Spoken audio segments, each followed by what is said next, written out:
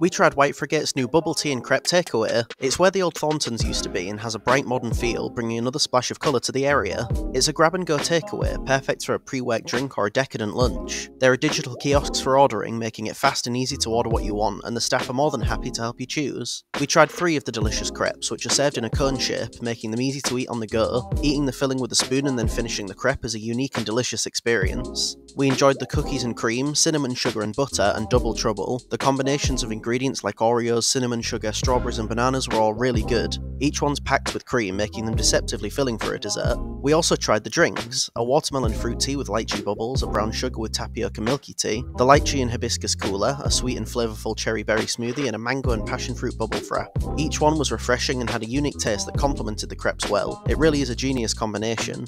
Next time you're around Whitefriargate, we think crepes and bubbles is definitely worth stopping at for a quick tasty treat. Give it a try and let us know what you think.